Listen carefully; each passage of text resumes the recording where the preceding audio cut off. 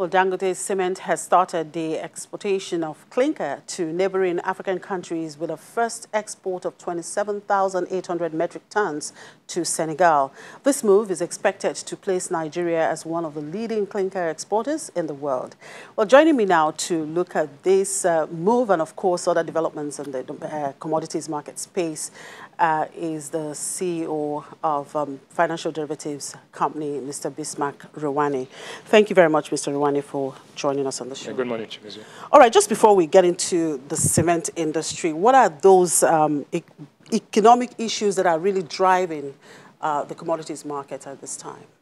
First of all, let's uh, take a step back and look at what's happening to our growth. Uh, the Economic Sustainability Plan, Committee Plan, is suggesting that we could have a negative growth of minus 4.4% this year. If that comes out to be realistic, or if that comes out to be the, the truth, then we are going to have a situation where from 1.87 in Q1 to annualize it at minus 4. that means that we're going to have almost minus 5 and minus 6 in Q2 and in Q3 and Q4. Therefore, what does that mean? Now, but luckily, the oil price projection in that uh, scenario was based on $28 a barrel. Today, we are seeing Brent at $40 a barrel. But Nigeria is having to comply with the production cuts. So having said that, you, in your last conversation with commercial partners, you talked about exchange rate, and the exchange rate passed through into inflation. I think it's important to understand that uh, there's nothing, there's no other option we have but to unify the exchange rates and to, to, to eliminate the distortions in the, uh, the markets due to multiple exchange rate practices. Our lenders are going to insist on that. Our donor partners are going to insist on that. And it's also good for our economy. So I am just laying the context mm. for what's going to happen to commodity. Because when you have an exchange rate unification and an adjustment of that magnitude, mm. then it will feed through into uh, domestic prices, especially for those that have high import content. But also it makes your own exports more competitive because you just talked about clinker and also we are going to be exporting cement, right? So I want you to see one, the oil markets, two, the exchange rate adjustment, which is inevitable, even, in, even though in stages, and domestic price changes, and also our export competitiveness. When you now understand this, then you now come back to the cement industry as, as a whole. So talking about this um, exchange rate and, of course, all this um, economic um, development, how are they playing out in the cement industry and, uh, of course, the performance of the players there? Let's, let's uh, go back. In Q1, Q4, where the economy grew about 2.25%, the cement industry actually grew by about 1.6%. Um, so also in Q2. In other words, the um, no Q1, Q4 and Q1, the cement industry has been underperforming the um, the GDP as a whole. But what is driving this? If you look at the, the growth rate in construction and the growth rate in the cement industry, they are almost identical. Well, but what we are seeing now is that the stimulus package and trying to revamp the economy means there's going to be a boost in construction. And once there's a boost in construction, then you will see a higher demand for cement locally and also a higher rate of growth of the industry and the com companies in there. Now, why do I say this? Yesterday, the federal government announced the possible concessioning of 10 highways in Nigeria. If you notice, both along the Badagry Expressway and the Oworonshoki Apapa Oshodi Expressway, there's a substitution of bitumen for cement. If you look at in the intercity, eh, inner city roads all over Lagos and everywhere, you are beginning to see interlocking blocks being used rather than bitumen and coal tar roads. So we are seeing the demand for cement is driven by construction industry, affordable housing, and the replacement of bitumen roads by concrete roads. I think that's a very, very important development. I think you should mm. bear that in mind. All right. Now, so Nigeria, up until recently, was one of the world's um, largest bulk um, importers of cement. Now, with Dangote Cement's exportation of uh, uh, clinker, does it mean we are now self-sufficient? Uh, First and foremost, Nigeria is self, we are now self-sufficient. Mm. The total production in, the, uh, in Nigeria is about almost 40 million tons. Dangote alone has 20, is producing 29 million tons. The second is Lafarge, which is about 10, 10 million tons. And then you have BUA, who has about 8 million, 8, 8 million tons. So to all intents and purposes, Dangote is dominant. It has 70% of the industry. So they because they invested substantially in Obajana, Ibeshe, and uh, the other, in, uh, what do you call it, the, um, the other locations, you will find that uh, they have actually, they were game changers. In other words, made Nigeria from being a net importer to becoming a net exporter.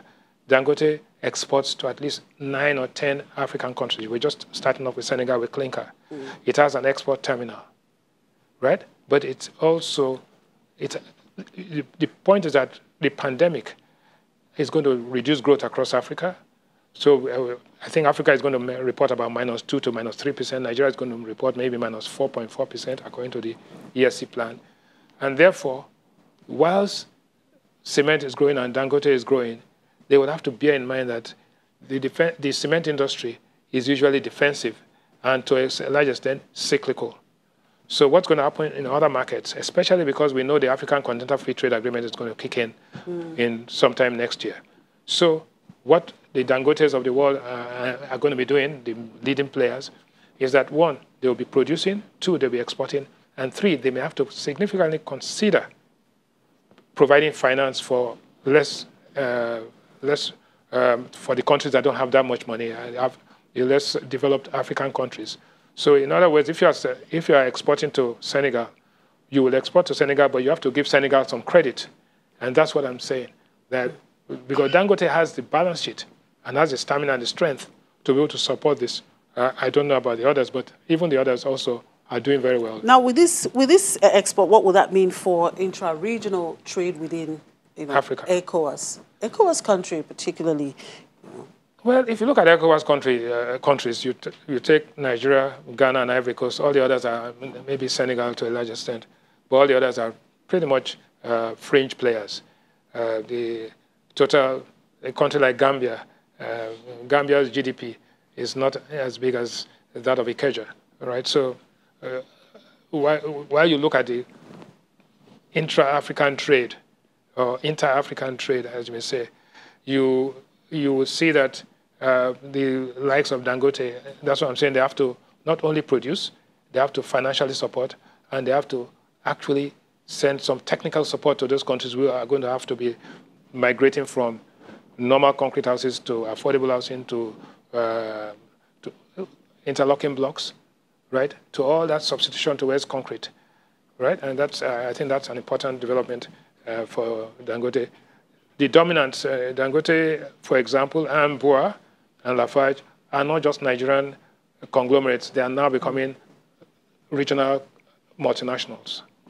Okay, now looking at um, we have harsh operating environment really yeah. and uh, Dangote Cement of course looking at the results posted quite an impressive result in both um, 2019 uh, financial year and of course the first quarter what strategies do you think this company has continued to really put out there to maintain its share price its share you know? I think the first thing is audacity uh, to to be able to invest well in advance you're taking a long-term view so you say for example the investment in Obajana and Ibeshe were done four or five years ago when the exchange rate of the Naira was like 169, right? Now they're reaping the benefits when the exchange rate is almost 400. So good, you know, good capitalization, cost reduction, being strategic and having the, the boldness and the courage to invest ahead of time. So what you are seeing today is reaping of the benefits of past investments and the the boldness to make those decisions at that time. What's going to happen in the future?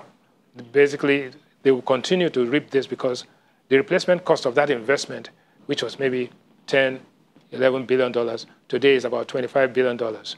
And that's why you find that people like uh, Dangote, uh, and Lafarge, they also now begin to rank in the Forbes list of the wealthiest people because that's what's happening. But having said that, we are noticing an, a, a reduction in the EBITDA. And the impact of the pandemic on the business this year is not going, we cannot write that off. That's, that's significant. For example, in the first quarter, I think they did only four, uh, four million tons or something like that. If you multiply that by four, that comes to 60 million tons. But we are hoping that that will pick up because they, are, they have all these road projects between in Ogun State. They have road projects in Lagos where they have, uh, in, in, in return for tax credits, they're building all of this. So there's, uh, there's a lot of upside. But I will caution that in the year 2020, just like the whole of the country and the whole of the world and industry, we are going to see some very, very weak numbers in 2020. But the economic value of the company and the investments are going to, you are going to see the benefits of this more in 2021 and thereafter. Mm. All right, now what can you tell us about Dangote Cement buyback? Uh, the details of the plan haven't been made, you know, uh, well thought out or clear to the, the market. Do you see a situation where the buyback exercise could really be broken down into? No, usually, usually when a company buys back its shares, it's because there's, a, they first of all, they have a lot of reserves, they have a lot of cash. And it's a good thing for the investors. So if you're buying back the shares, right, it means that the shares will appreciate in value. And those who, who are holding it are going to. So, in anticipation of the buyback, what people do is to buy more, right? So, but when you look at, you know, in the end, when you look at Dangote uh, industry, the performance of Dangote cement, one, you must understand that Nigeria, which is the major country, is a country whose growth is going to depend eh, to a large extent on civil construction and works. We have 197,000 kilometers of roads in Nigeria. And these roads have to be maintained. I just talked about the concessioning of 10 roads. The roads, new roads have to be built. The roads were all designed for the whole path, which is from the north to the south. We don't have horizontal paths uh, that go across from west to east across the country. All of those things have to be built. There are 774 local governments. There are 36 states plus one the federal capital territory. All of these governments have road projects even the private sector are looking for, uh, have high demand for uh, civil works.